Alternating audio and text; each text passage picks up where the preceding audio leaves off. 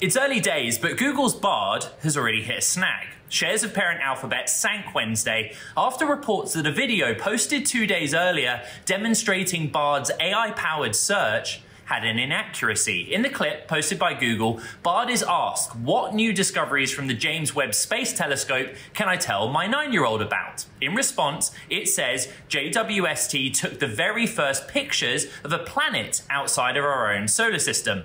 But that's not true. The first pic taken of a planet outside of our solar system was taken by the Very Large Telescope Array in Chile in 2004. Webb was deployed at the end of 2021. It is a setback for Google's challenge to Microsoft's work with OpenAI, using the tech behind ChatGPT to improve Bing. Google told me in a statement this highlights the importance of rigorous testing, which it will start this week. It'll also take on external feedback.